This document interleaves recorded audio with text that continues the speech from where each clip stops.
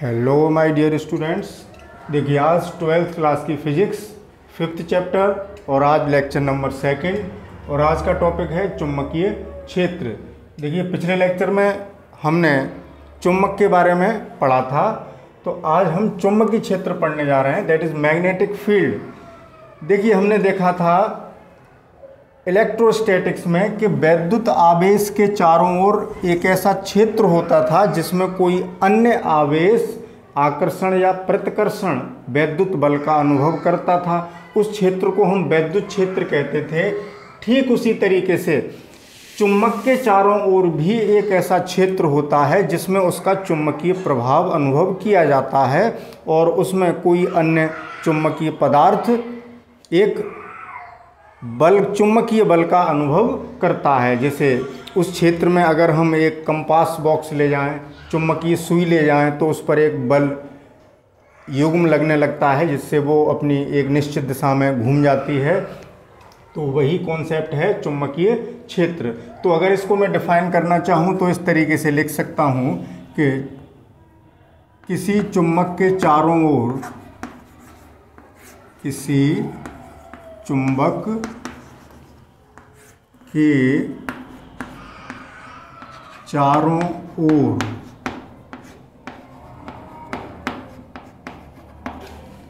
का वह क्षेत्र वह क्षेत्र जिसमें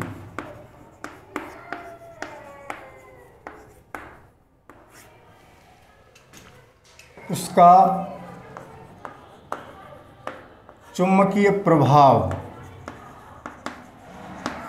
उसका चुंबकीय प्रभाव अनुभव किया जा सकता है। अनुभव किया जा सकता है। चुंबकीय क्षेत्र या उस चुम्बक का उस चुम्बक का चुम्बकीय क्षेत्र कहलाता है। ये बात अभी मैंने समझाई थी। अब मैंने यहाँ उसको लिख दिया है, चुम्बकीय क्षेत्र कहलाता है।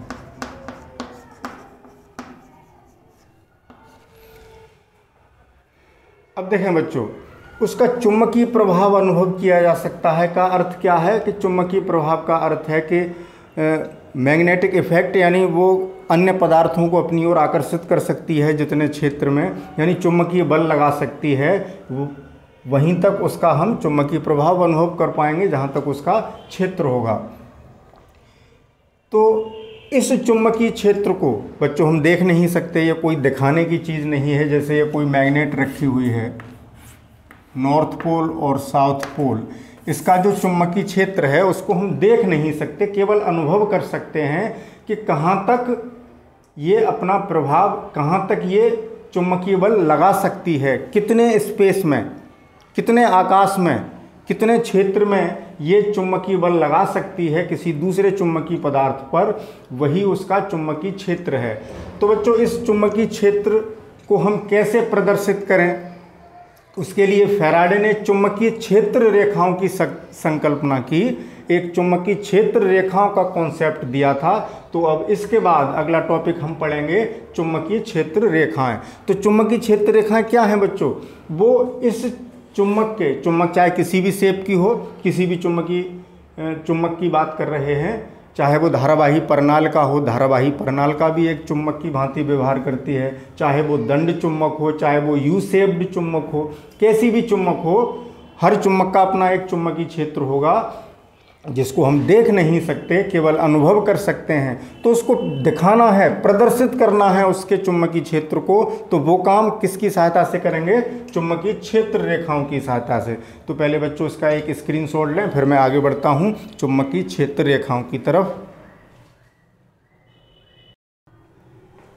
तो बच्चों, अब हम पढ़ेंगे चुम्बकीय क्षेत्र रेखाएँ that is magnetic field lines तो मैग्नेटिक फ़ील्ड लाइंस एक माध्यम है, एक ज़रिया है चुंबकीय क्षेत्र को प्रदर्शित करने का, ठीक है? वास्तविकता में चुंबकीय क्षेत्र रेखाएँ कोई चीज़ नहीं है मतलब ऐसा नहीं है कि चुंबकीय क्षेत्र रेखाओं का, कि कोई क्षेत्र रेखाएँ होती हैं।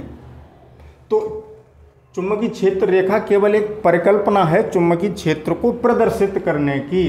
तो कैसे डिफाइन करेंगे बच्चों? कि चुंबकीय क्षेत्र में खींचे गए वे काल्पनिक, अभी मैंने कहा था एक कल्पना है, वे काल्पनिक निष्कोण वक्र जिसके किसी भी बिंदु पर, जैसे हमने काल्पनिक निष्कोण वक्र खींचा तो फिर हम दोबारा स्टार्ट करते हैं कि चुंबकीय क्षेत्र रेखा क्या होगी? चुंबकीय क्षेत्र रेखा का जो कॉन्सेप्ट है चुंबकीय क्षेत्र रेखा, कहाँ होगी बच्चों? चुंबकीय क्षेत्र में। जहाँ चुंबकीय क्षेत्र नहीं होगा, वहाँ चुंबकीय क्षेत्र रेखा की हम कोई भी कल्पना नहीं करेंगे। चुंबकीय क्षेत्र रेखा की कल्पना केवल चुंबकीय क्षेत्र में ही की जा सकती है। तो चुंबकीय क्षेत्र में खींचे गए वे काल्पनिक निष्कोण वक्र हैं, जिसके किसी भी बिंदु पर खींची गई स्पर्श रेखा उस बिंदु पर चुंबकीय क्षेत्र की दिशा को प्रदर्शित करती है। तो ये रही बच्चों परिभाषा डेफिनेशन चुम्बकीय क्षेत्र रेखाओं की। तो बच्चों मैं यहाँ डेफिनेशन लिख देता हूँ, आपके साथ साथ लिखता हूँ तो वीडियो लेंदी होता है। अभी जो बात मैंने समझाई थी, वो उसको मैं यहाँ, या इस तरीके से भी कह सकते हैं बच्चों के चुम्बकीय क्षेत्र में खींचे गए वे काल्पनिक निष्कोण वक्र जो चुंबकीय क्षेत्र का सतत प्रदर्शन करते हैं। मतलब चुंबकीय क्षेत्र को प्रदर्शित करने का ही एक ज़रिया है चुंबकीय क्षेत्र रेखा। तो हम अलग अलग शब्दों में उसको परिभाषित कर सकते हैं। तो अभी मैं यहाँ पर एक परिभाषा लिख देता हूँ, जिसको आप नोट करेंगे। तो बच्चों, मैंने डेफिनेशन लिख दी है। मैग्नेटिक फ़ील्ड लाइंस की एक बार चेक कर लेते हैं। जो अभी मैंने समझाया था कि चुंबकीय क्षेत्र रेखाएँ चुंबकीय क्षेत्र में खींचे गए हुए काल्पनिक निष्कोण वक्र हैं, जिनके किसी भी बिंदु पर खींची गई स्पर्श रेखा उस बिंदु पर चुंबकीय क्षेत्र की दिशा को प्रदर्शित करती है। तो इसका स्क्रीनशॉट लें फिर अब चलेंगे कि इन चुंबकीय क्षेत्र रेखाओं में क्या क्या गुण पाए जाते हैं, इनकी क्या क्या विशेषताएँ हैं या इनकी क्या क्या प्रॉपर्टीज़ हैं, उनको समझना है। तो पहले आप इसका एक स्क्रीनशॉट लें। तो बच्चों, अब चुंबकीय क्षेत्र रेखाओं के गुण that is properties of properties of magnetic field lines अब इनमें क्या क्या विशेषता हैं, उसको समझना है। तो पॉइंट वाइज क्रम से समझते चलते हैं। अब बच्चों, मैं यहाँ लिखूँगा नहीं, क्योंकि वीडियो बहुत लेंदी हो जाएगा। समझते चलिए, और आप अपनी बुक की सहायता से टेक्स्ट बुक की सहायता से आप लोग इनको लिख लेंगे। मेन चीज़ है कि इनको आपको समझना है। तो बच्चों, देखें।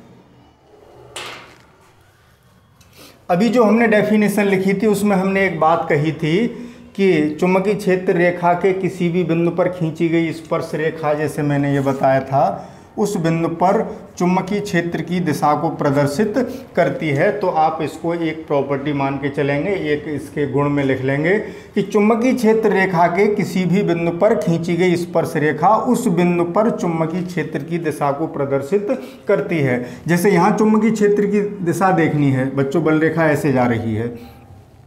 तो यहाँ चुंबकीय क्षेत्र की दिशा इस पर स्पर्श रेखा खींच दीजिए। और मान लीजिए ये बल रेखा ऐसे आगे इस तरीके से, यहाँ पर अगर हमें ये देखना है कि यहाँ चुंबकीय क्षेत्र किधर है तो यहाँ पर स्पर्श रेखा खींच देंगे इस तरीके से तो ये दिशा हो गई। तो जिस बिंदु पर चुंबकीय क्षेत्र की दिशा देखनी है, उस पर स्पर्श रेखा खींचेंगे, वही स्पर्श रेखा उस चुंबकीय क्षेत्र की दिशा को निरूपित करेगी। हमें ये बोध हो जाएगा, हमें ये जानकारी मिल जाएगी कि उस स्थान पर, उस बिंदु पर चुंबकीय क्षेत्र किस दिशा में आरोपित है। कार्य कर रहा है। तो ये पहली प्रॉपर्टी फिर एक बार फिर सुने कि चुंबकीय बल रेखा के सॉरी चुंबकीय बल हाँ कोई बात नहीं बच्चों। चुंबकीय बल रेखा भी आपको लिखा मिल जाएगा। चुंबकीय बल रेखा और चुंबकीय क्षेत्र रेखा एक ही बात है, लेकिन अब आजकल चलन में चुंबकीय क्षेत्र रेखा ज़्यादा है। तो चुंबकीय क्षेत्र रेखा के किसी भी बिंदु पर खींची गई स्पर्श रेखा, उस बिंदु पर चुंबकीय क्षेत्र की दिशा को निरूपित करती है। दूसरी बात कभी भी दो बल रेखाएँ काट नहीं सकती बच्चों। इस तरीके से। क्यों? अगर ये दो बल रेखाएँ या दो क्षेत्र रेखाएँ, दो चुंबकीय क्षेत्र रेखाएँ अगर काट जाती, मैं इधर समझाता हूँ। जैसे हमने एक चुंबकीय क्षेत्र रेखा ये खींची, एक ये खींची। एक क्षेत्र रेखा ये, एक क्षेत्र रेखा ये। इस तरीके से कभी भी दो क्षेत्र रेखाएँ आपस में नहीं काटेंगी। क्यों नहीं काटेंगी बच्चों? क्योंकि अगर हम यहाँ पर कटान बिंदु पर स्पर्श रेखा खींचें तो दो स्पर्श रेखाएँ खिंच जाएँगी, एक इस वाली क्षेत्र रेखा पर और एक इस वाली क्षेत्र रेखा पर। इसका अर्थ क्या हुआ कि इस बिंदु पर जो परिणामी चुंबकीय क्षेत्र है, वो दो दिशाओं में है। तो बच्चों, ये बिल्कुल असंभव बात हो गई कि नेट चुंबकीय क्षेत्र तो एक ही दिशा में होगा। जो परिणामी चुंबकीय क्षेत्र है, परिणामी चुंबकीय क्षेत्र दो दिशाओं में कैसे हो जाएगा? तो ऐसा संभव इसलिए नहीं है कि दो दिशाओं में परिणामी चुंबकीय क्षेत्र हो जाए। इसलिए हम क्या कहेंगे कि दो चुंबकीय बल रेखाएँ या दो चुंबकीय क्षेत्र रेखाएँ कभी भी एक दूसरे को नहीं काटती हैं। Two magnetic field lines never intersect each other okay बच्चों, ये दूसरी प्रॉपर्टी हुई। तीसरी प्रॉपर्टी की बात करते हैं कि जो चुंबकीय क्षेत्र रेखाएँ हैं, वो हमेशा एक बंद वक्र होती हैं। क्या होती हैं? बंद वक्र क्लोज लूप क्लोज्ड लूप होंगी। देखें, वैद्युत क्षेत्र रेखाएँ जो थी, जैसे धनावेश था, इससे क्षेत्र रेखा इस तरीके से जा रही थी। इसमें बंद का कोई प्रश्न ही नहीं था ये बंद होंगी। लेकिन ऐसा यहाँ संभव नहीं है कि जो चुंबकीय क्षेत्र रेखाएँ हैं, वो हमेशा बंद वक्र बनाएँगी। किस तरीके से बच्चों? जैसे ये मैं इसको हटाता हूँ पहले। ये दो पॉइंट समझ में आ गए थे। अब तीसरे पॉइंट को समझते हैं कि क्या करती हैं। क्लोज लूप बनाती हैं, उस बात को समझेंगे अब। और इसी में एक बात और लिख देंगे, जैसे ये नॉर्थ पोल है बच्चों, या यहाँ थोड़ा स्पेस कम मिलेगा। चलो, मैग्नेट छोटी बना लेते हैं, ऐसे कर लेते हैं। नॉर्थ पोल, ये बच्चों नॉर्थ पोल है और ये साउथ पोल। ये ध्यान रखेंगे कि चुंबकीय क्षेत्र रेखा नॉर्थ पोल से निकलती हुई साउथ पोल में प्रवेश करती हुई होती है इस तरीके से। और यही बात ख़त्म नहीं हो गई। चुम्बक के अंदर ये बंद वक्र बनाती हुई साउथ से नॉर्थ की ओर चल के तब इस तरीके से आएगी। बात समझ गए? तो ये बंद वक्र बन गया। ठीक है? चुम्बक के बाहर नॉर्थ टू साउथ चली और चुम्बक के अंदर साउथ टू नॉर्थ दक्षिणी ध्रुव से उत्तरी ध्रुव की ओर। इस बात का विशेष ध्यान रखेंगे और इस तरीके से ये एक बंद वक्र बन गया। और इस तरीके से ऐसे नॉर्थ से निकली और साउथ में एंटर की और चुम्बक के अंदर साउथ से नॉर्थ की ओर। तो इस तरीके से और भी होंगे। इस तरीके से। अब ये पूरी नहीं बना रहे हैं हम इस तरीके से होंगी और इधर आके एंटर करेंगे। इसका मतलब ये नहीं है बच्चों कि ये बंद बकर नहीं है मतलब है ये, इस तरीके से आया है। जैसे हम इसको पूरा बनाएँ तो इस तरीके से। अब हमने वहीं छोड़ दिया है, इस तरीके से छोड़ दिया है कि ये आगे फिगर बड़ा होगा और इस तरीके से ये इसमें एंटर कर रही हैं, पूरा वक्र बनाती हुई समझ रहे हैं। तो ये ना सोचें कि ये बंद वक्र नहीं है। ये बंद वक्र है बच्चों, ऐसे करके आया है। पूरा एक लूप बनाएगा। तो ये थर्ड प्रॉपर्टी हमने पढ़ ली कि ये एक क्या करेंगी? बंद वक्र बनाती हैं और चुम्बक के नॉर्थ पोल से निकलती हुई साउथ पोल में प्रवेश करती हैं और चुम्बक के अंदर south to north fourth point की बात करते हैं कि चुंबकीय क्षेत्र रेखाएँ चुम्बकीय पदार्थ के अंदर से भी गुजरती हैं, जो कि हमने अभी ये बताया था। इस चुम्बक के अंदर से भी जा रही थी। इस बात को आप फोर्थ पॉइंट में लिख लेंगे। क्या लिखेंगे? कि चुंबकीय क्षेत्र रेखाएँ चुम्बक के अंदर से भी गुजरती हैं। ये हो गया हमारा फोर्थ पॉइंट। ठीक है ना? Pass through inside the magnet मतलब चुम्बक के अंदर से भी, या चुम्बकीय पदार्थ के अंदर से भी गुजरती हैं। ये फोर्थ पॉइंट में लिख देंगे। सुन लिया होगा आपने। वीडियो को पॉज करके नोट कर लेंगे।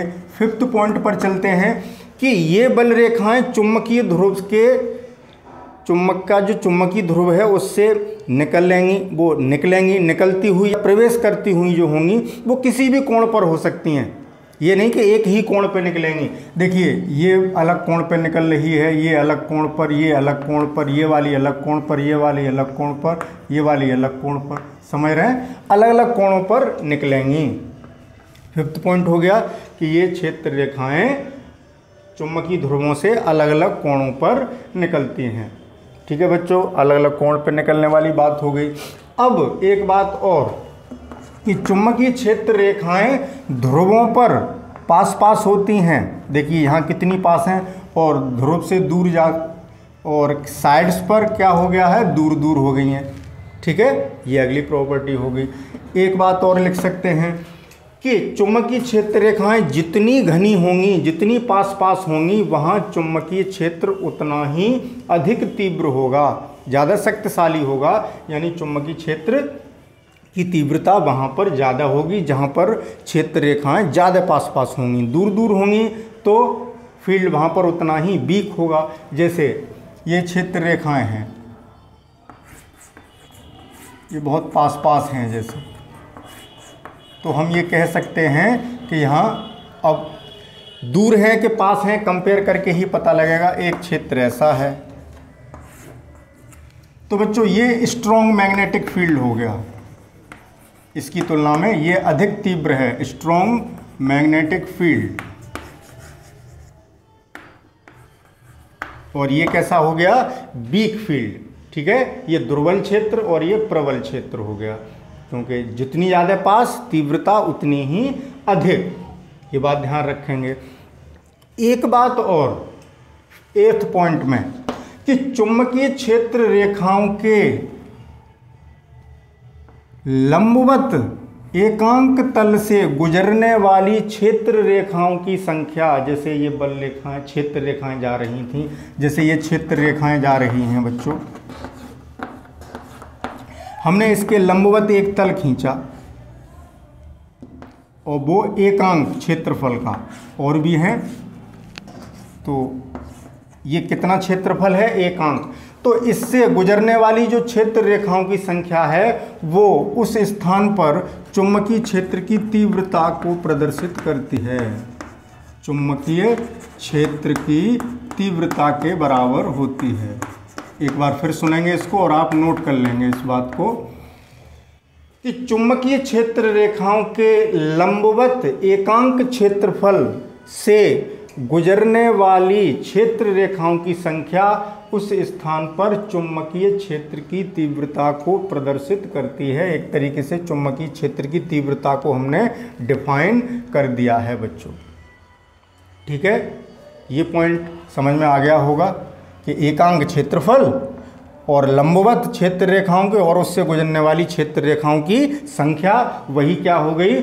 चुंबकीय क्षेत्र की तीव्रता। अब देखें बच्चों, अगर क्षेत्र रेखाएँ, अब जो हमारा मैग्नेटिक फ़ील्ड है चुम्बकीय क्षेत्र जो है चुम्बकीय क्षेत्र रेखाएँ क्या कर रही हैं बच्चों? चुम्बकीय क्षेत्र रेखाएँ चुम्बकीय क्षेत्र को प्रदर्शित कर रही हैं, ठीक है ना? किसको प्रदर्शित कर रही हैं? चुम्बकीय क्षेत्र को। तो अब देखें जो हमारा चुंबकीय क्षेत्र है, वो एक समान भी हो सकता है, असमान चुंबकीय क्षेत्र भी हो सकता है। तो पहले हम बात करेंगे असमान चुंबकीय क्षेत्र। ये सब गुणों में चल रहा है, बच्चों, आप पॉइंट डाल डाल के लिखते चले जाएँगे। असमान चुंबकीय क्षेत्र कौन सा होगा? असमान चुंबकीय क्षेत्र।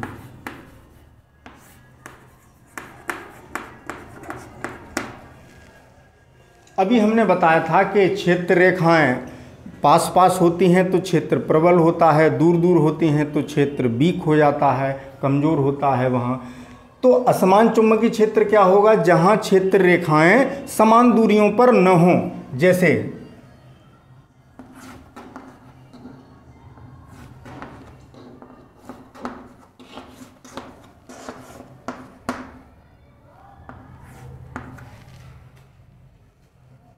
फिर पास पास ऐसे कर सकते हैं। तो देखें, कहीं पास पास हैं, कहीं दूर दूर हैं तो ये क्षेत्र हमारा कैसा हो गया? असमान चुम्बकीय क्षेत्र। अब अगर पास पास भी हैं, वो सॉरी, पास, वो बराबर दूरी पर भी हैं, लेकिन एक दिशा में नहीं है इस तरीके से। दूरी बराबर है, लेकिन दिशाएँ अलग अलग हैं, मुड़ के अलग अलग दिशाओं में जा रही हैं तो भी ये कैसा क्षेत्र हो गया? असमान चुम्बकीय क्षेत्र हो गया। बात समझ रहे हैं? ऐसे हों। कोई बल रेखा इधर जा रही है, कोई क्षेत्र रेखा, कोई क्षेत्र रेखा ऐसे जा रही है। तो ये क्षेत्र भी कैसा हो गया? असमान चुंबकीय क्षेत्र। ठीक है ना? अब ये और क्लियर हो जाएगा। जब आप देखेंगे समान, एक समान चुंबकीय क्षेत्र क्या होता है, तभी बात एकदम क्लियर हो जाएगी। एक समान चुंबकीय क्षेत्र के लिए ज़रूरी है कि क्षेत्र रेखाएँ एक दूसरे के समांतर हों और समदूरस्थ हों। कैसी हों? समांतर और समदूरस्थ, यानी बराबर दूरियों पर, समदूरस्थ होनी चाहिए। जैसे, ये समांतर हैं, इनके बीच की दूरी है, वही इन दोनों के बीच की दूरी है, वही इन दोनों के बीच की दूरी है, वही सॉरी वही इन दोनों के तो सभी रेखाओं के बीच की दूरी एक ही है और सब एक दिशा में है। तो ये वाला फ़ील्ड बच्चों कैसा हो गया? एक समान चुंबकीय क्षेत्र। कैसा हो गया ये? मैं यहाँ लिखता हूँ, एक समान चुंबकीय, एक समान चुंबकीय क्षेत्र। इसको क्या कहते हैं? Uniform magnetic field. Uniform magnetic field. ये नॉन यूनिफॉर्म था। ये कैसा था? Non uniform magnetic field. Non uniform magnetic field. ठीक है बच्चों? तो इसका एक स्क्रीनशॉट ले लें। तो बच्चों, आपने स्क्रीनशॉट ले लिया होगा। तो देखें, चुंबकीय क्षेत्र रेखाओं के गुण भी हमने सीख लिए और इन चुंबकीय क्षेत्र रेखाओं की जब प्रॉपर्टीज़ पढ़ रहे थे तो बच्चों, एक शब्द आया था, चुंबकीय क्षेत्र की तीव्रता। तो आप अलग से चुंबकीय क्षेत्र की तीव्रता भी लिख सकते हैं। मैंने बताया था कि किसी बिंदु पर जैसे चुंबकीय क्षेत्र की तीव्रता कितनी होगी तो उस बिंदु के चारों ओर एकांक क्षेत्रफल लंबवत लंबवत एकांक अनुप्रस्थ परिच्छेद क्षेत्रफल से गुजरने वाली चुंबकीय क्षेत्र रेखाओं की संख्या के बराबर होती है। उस बिंदु पर चुंबकीय क्षेत्र की तीव्रता तो आप उसको डिफाइन कर लेंगे कि चुंबकीय क्षेत्र के अंदर किसी बिंदु पर चुंबकीय क्षेत्र की तीव्रता, उसके चारों ओर एकांक अनुप्रस्थ, वो सॉरी लंबवत एकांक अनुप्रस्थ परिच्छेद क्षेत्रफल से गुजरने वाली क्षेत्र रेखाओं की संख्या के बराबर होती है। इसको आप एक अलग से लिख लेंगे। ये एक महत्वपूर्ण बिंदु है। तो बच्चों, आज के लेक्चर में केवल इतना ही। आज हमने सीख लिया चुम्बकीय क्षेत्र क्या है। चुंबकीय क्षेत्र को प्रदर्शित करने के लिए फेराडे ने चुंबकीय क्षेत्र रेखाओं की संकल्पना की थी और चुम्बकीय क्षेत्र रेखाएँ भी पढ़ ली और उनके गुण भी पढ़ लिए। तो मिलते हैं कल अगले लेक्चर में एक नए टॉपिक के साथ। Okay, thank you for watching.